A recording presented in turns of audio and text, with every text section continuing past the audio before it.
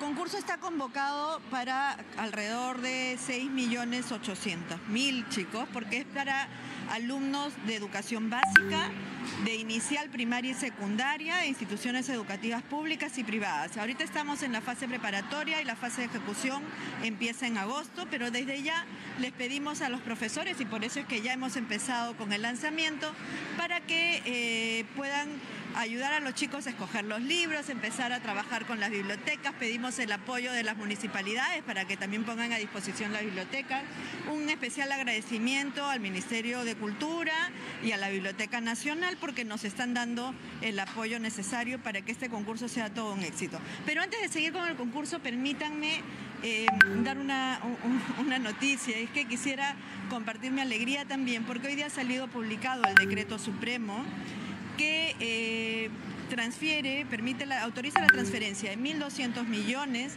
a los gobiernos regionales para el pago de la llamada deuda social. Con esto vamos a reducir en un 16% la deuda social.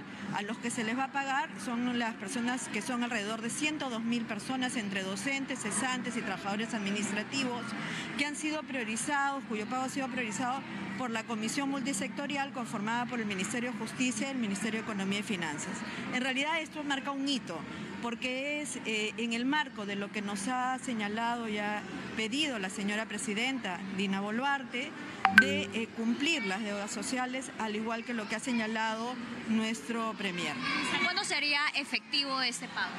Eh, estamos, debe ser en junio, o sea, a finales de este mes y en julio. Ahí es donde se están haciendo los pagos. entre junio la referencia de esta temática se dio a conocer en marzo que el 60% de los textos escolares todavía no había llegado a todos los colegios a nivel nacional. A la fecha, ¿ya llegaron todos estos textos escolares considerando también el fenómeno climático a, a principios de año? A ver, nosotros hemos repartido ya todo el 100% de los textos escolares eh, de lo que correspondía a esta primera etapa, primera y segunda etapa, ¿no? Miren ya, el 100% de los textos escolares a nivel de UGEL.